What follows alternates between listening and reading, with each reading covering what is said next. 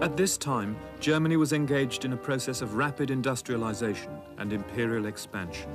Many artists rejected this new Germany, but ironically, they were influenced by the exotic world discovered in the Kaiser's colonies in Africa and the Pacific, primitive art.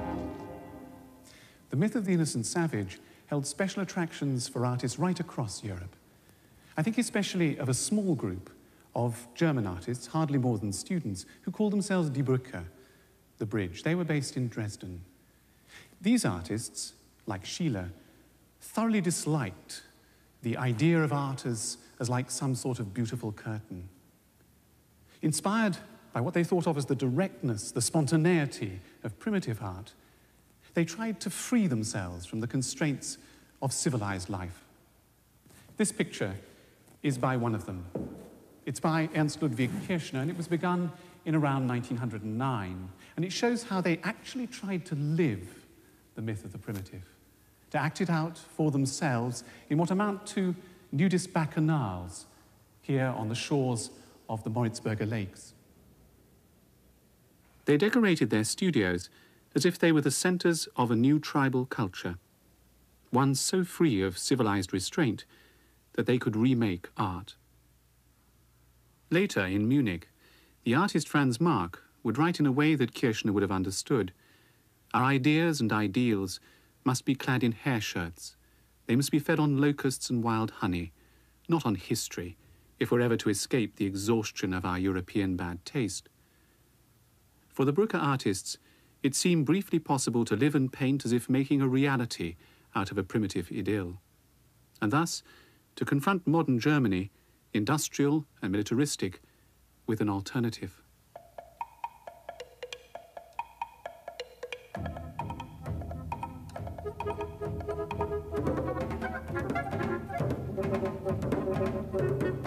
In France, there was a loosely aligned group of artists who could also at times paint explicitly primitivizing pictures and who were drawn as well to the pre-industrial. I mean the Fauve. They preceded the Brücke artists and provided a vital example for them. André Derain was a leading Fauve at this time, and this is his Bathers of 1907. For them, as for the Brücke artists, an exciting stimulus was provided by Paul Gauguin's exotic, highly coloured transformations of native life in France's South Sea colonies.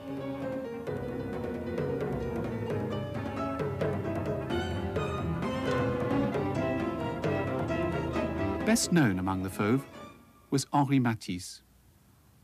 This is Matisse's Luxe, Calme et Volupté. He began, in 1904, to use a repertoire of coloured patches and marks brilliantly synthesized from Gauguin, Van Gogh, and Signac, using them as the sumptuous pictorial vehicle for his own range of pre-industrial idylls. His Luxe Calme et Volupté is a spectacular example.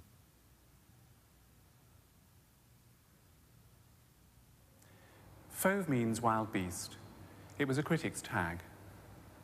And it was the seeming wildness of paintings like this by André Derain that made them for contemporaries so much more modern than their sources. And by their sources, I mean Gauguin and even Van Gogh.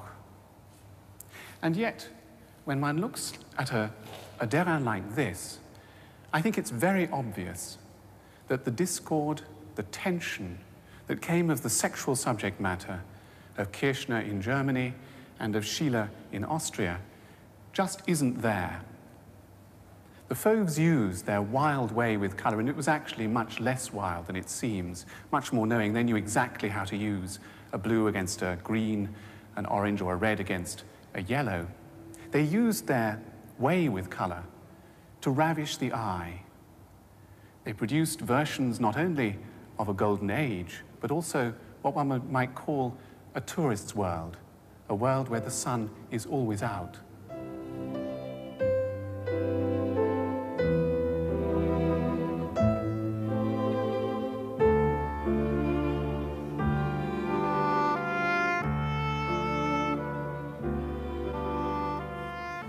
In the early years of the century, modernism came in a tremendous variety of forms in many different places. But there was one city which was viewed as the preeminent center of modernism and which acted as a magnet to a motley army of artists who came from everywhere. Russians, Romanians, Germans, British, Americans, all drawn by what became a sort of bohemian finishing school for modern artists. And despite the reputation of Schiele, Klimt and Matisse, there was one artist working in this city during those years and right the way through to the middle of the century, who is still for us the modern artist. He is Picasso, the city, Paris.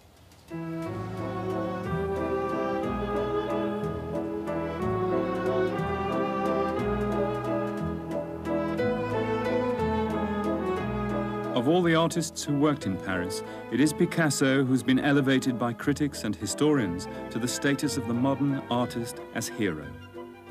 To honor him, the French have installed all the works that he never wanted to sell in the grandest of museums, a supreme monument founded by the establishment to an artist whose reputation was built on the subversion of establishments.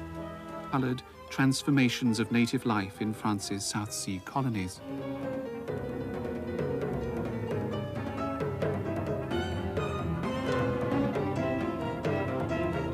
Best known among the Fauves was Henri Matisse.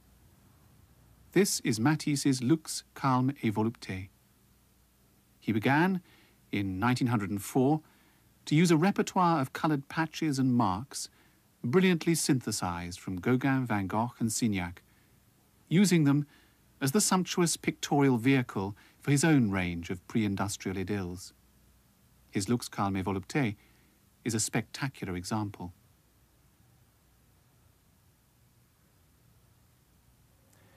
Fauve means wild beast. It was a critic's tag. And it was the seeming wildness of paintings like this by André Derain that made them for contemporaries so much more modern than their sources. And by their sources, I mean Gauguin and even Van Gogh. And yet, when one looks at a, a Derain like this, I think it's very obvious that the discord, the tension, that came of the sexual subject matter of Kirchner in Germany and of Schiele in Austria just isn't there. The Fauves used their wild way with colour, and it was actually much less wild than it seems, much more knowing. They knew exactly how to use a blue against a green, an orange or a red against a yellow. They used their way with colour to ravish the eye. They produced versions not only of a golden age, but also what one might call a tourist's world, a world where the sun is always out.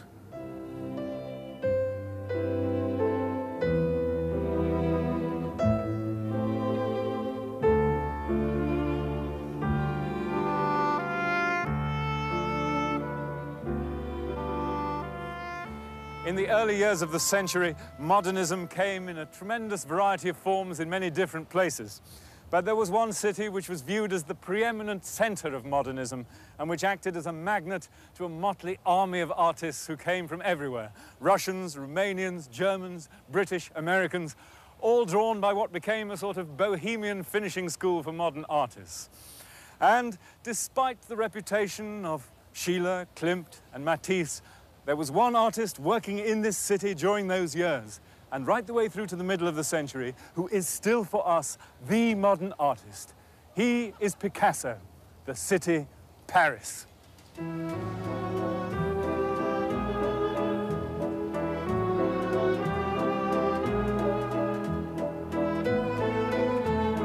Primitive idyll.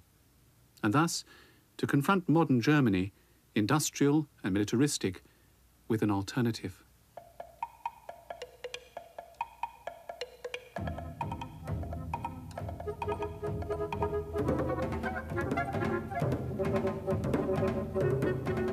France, there was a loosely aligned group of artists who could also at times paint explicitly primitivizing pictures and who were drawn as well to the pre-industrial. I mean the Fauve. They preceded the Brücke artists and provided a vital example for them. André Derain was a leading Fauve at this time, and this is his Bathers of 1907.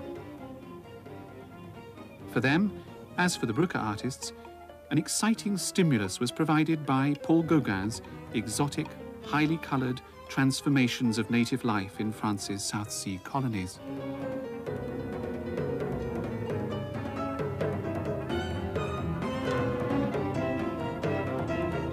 Best known among the Fauves was Henri Matisse. This is Matisse's Luxe, Calme et Volupté.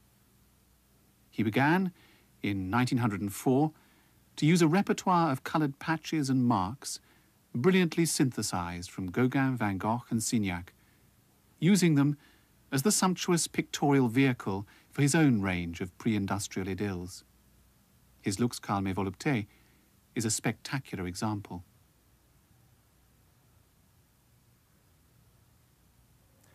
Fauve means wild beast. It was a critic's tag. And it was the seeming wildness of paintings like this by André Derain that made them for contemporaries so much more modern than their sources. And by their sources, I mean Gauguin and even Van Gogh. And yet, when one looks at a, a Derain like this, I think it's very obvious that the discord, the tension that came of the sexual subject matter of Kirchner in Germany and of Schiele in Austria just isn't there. The Fauves used their wild way with colour, and it was actually much less wild than it seems, much more knowing. They knew exactly how to use a blue against a green, an orange or a red against a yellow. They used their way with colour to ravish the eye. They produced versions not only of a golden age, but also what one might call a tourist's world, a world where the sun is always out.